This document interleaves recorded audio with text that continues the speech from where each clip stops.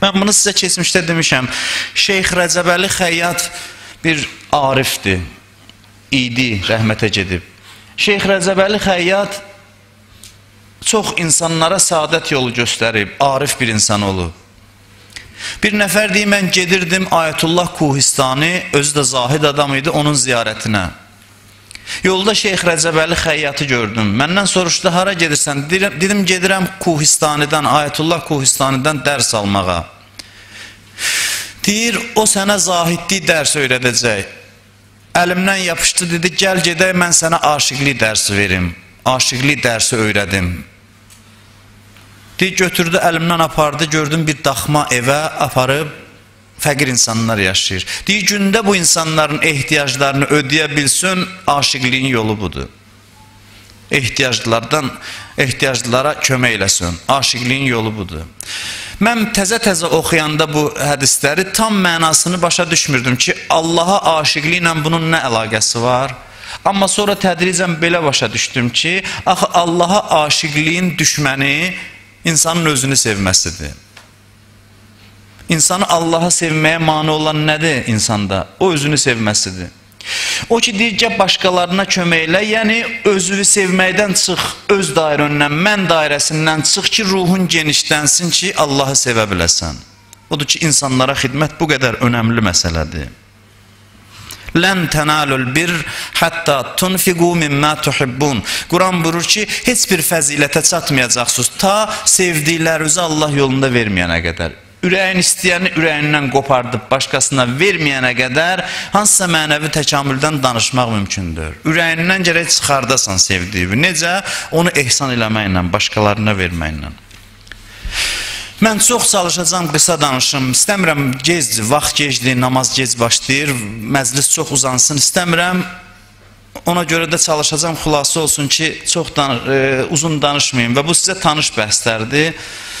Amma istəyirəm xanım Fatimə Zəhranın barəsində sonunda danışam. Bütün peyğəmbərlərin və imamlarımızın həyatına baxın, bu iki xüsusiyyəti onların həyatında görəcəksiniz. Allaha şiddətli bağlılıq, Allaha ibadətdə hamıdan öndədirlər, bir də insanlara xidmət. Bu iki xüsusiyyət onların hamısının həyatında var. Allah Peyğəmbərinə Quranda rəsmi şəkildə buyurur, Ya eyyuhəl muzzəmmil, qumil ləyl illa qəlila. Ey yorğanına bürünmüş, qalx, gecəni oyaq qal az hissəsindən başqa. Sənin ixtiyarın yoxdur gecə başlayandan ayağı uzadıb yatasan səhərə qədər. Dur, gecənin az hissəsini yat, çoxunu zəhmət çək ibadət elə. Niyə görə? Bir alim misal çəkirdi. Deyir, bir dəstə insan bir maşına oturub səfərə gedirsə, sərnişinlər yata bilər. Amma sürücünün yatmağa haqqı yoxdur. Sürücü yatsa, cəmaat nigaran olar, yatmazlar. Cəmaat aram yatır, sürücü isə oyaq qalmalıdır. Bütün bəşəriyyətin yükünü çiyninə almış Peyğəmbər gecə az yatır, o az yatdığı vaxtda da qəlbi gərək oyaq olsun, yuxuya getməsin. Ki, insanların taleyi onun çiynindədir. Ona görə Peyğəmbər gecə necə ibadət elirdi, onu xanımları danışır ki, elə nalə səsləri evdən gəlirdi ki, elə bil ən günahkar adam yaşayır bizim evdə. Peyğəmbər belə ibadət elirdi. Ağlaya-ağlaya deyirdi, Allahümmə qsim lənə min xəşiyyətikə mə yəhulu beynənə və beynə məsiyyətik. Deyirdi, ilahi, mənə elə bir qorxu ver, bizə elə bir qorxu ver ki, günahla bizim aramızda mane olsun. O əzəmətli şəxsiyyət belə dua elirdi ki, təqva istəyirəm səndən ki, günahdan uzaq olaq biz. La təkilni ilə nəfsi tərfətə aynin əbəda. Deyirdi, ilahi, bir göz qırpımı mən öz başıma qoyma. Bu haldan Allaha ibadət elirdi. Gecəni belə keçirdirdi. Səhər açılırdı, insanların xidmətindədir. Gecə oyaq qalasan, günü də ki, axşamacan yatasan, bu mənada deyil gecə ibadəti. Səhər açılandan Peyğəmbər meydanda idi, insanların xidmətində. İnsanların maddi və mənəvi ehtiyacları ödəməkdən başqa dərdi yox idi. Hamının dərdi sinəsində idi, hamının dərdi. Bu dərd o qədər çoxaldı ki, az qalırdı özünü öldürsün. Ürə, yəni o mənada öz intihar mənada demirəm.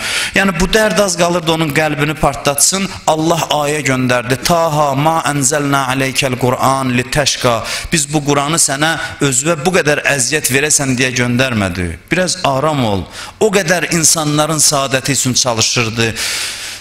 özünü öldürürdü insanlar üçün. İnsanların əlindən tutub onları doğru yola yönəltmək üçün.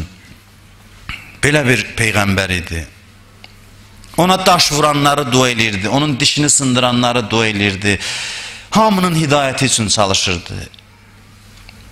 Qəbrə qoyanda da Əli əleyhissalam deyib, peyğəmbəri qəbrə qoydum, gördüm orada da dodağı tərpəndi. Mən dedim görəsən peyğəmbərin dünyadan köçəndən sonra nə deyir? Deyir gördüm deyir ümməti, ümməti, ümmətim, ümmətim deyir.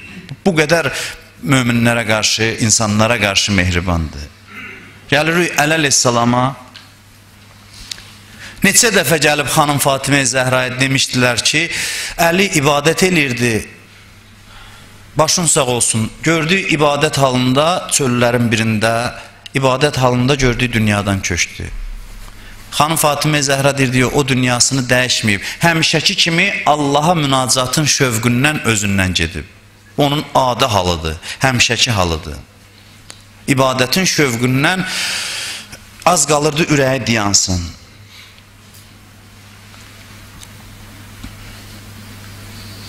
Onun ibadəti idi.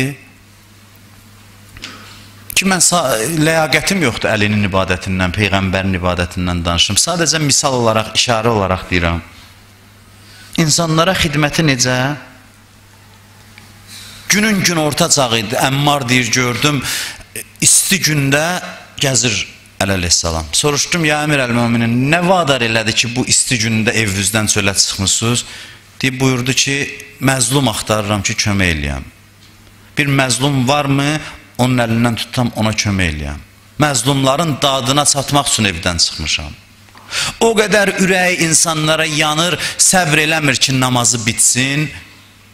Sahil məscidə daxil olur, yardım istəyir. Rüku halında barmağının müziğini çıxardır verir. Namazın rüku halında.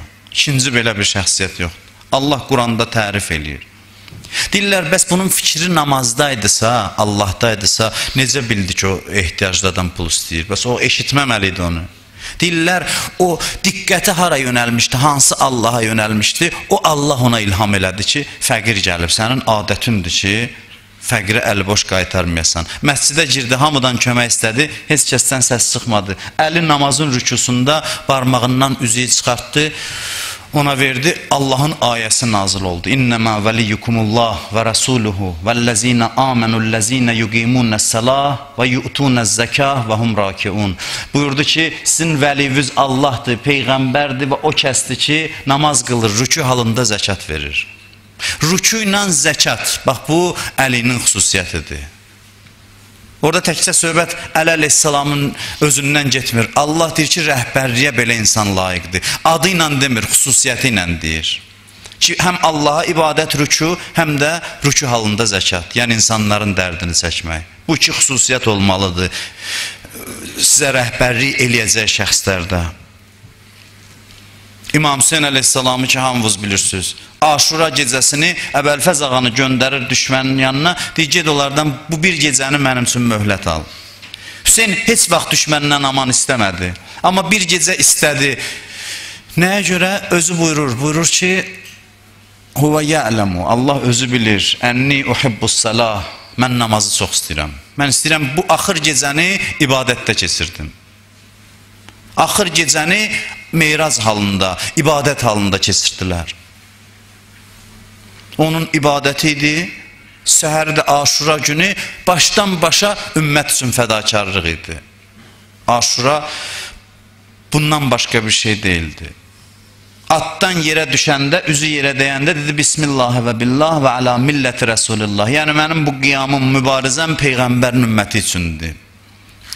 Onu dəfn eləyəndə İmam Səccad əleyhissalam bilirsiniz qəbrə qoydu İmam Hüseyin ağanı. Qəbrə qoyanda bədəni də yara içində idi İmam Hüseynin. Deyir İmam Səccad ağlayırdı, amma gözü bir yaraya sataşanda lap çox ağladı. Bəni Əsəd qəbiləsi vardı yanında. Soruşdu ki, ağa sizi ağladan nə idi? Deyir, bu yara ki ağanın kürəyindədir. O döyüşdə aldığı yaradır. Gecələr fəqirlərin evinə yemək aparırdı. O iz salıb çiynində. Bilirsiniz kimin evinə yemək aparırdı? Onu öldürənlərin, gələcəkdə onu öldürür. Həmin o küfəlilərin, həmin o mədinəlilərin. o şəkildə həyat sürdülər, o şəkildə yaşadılar.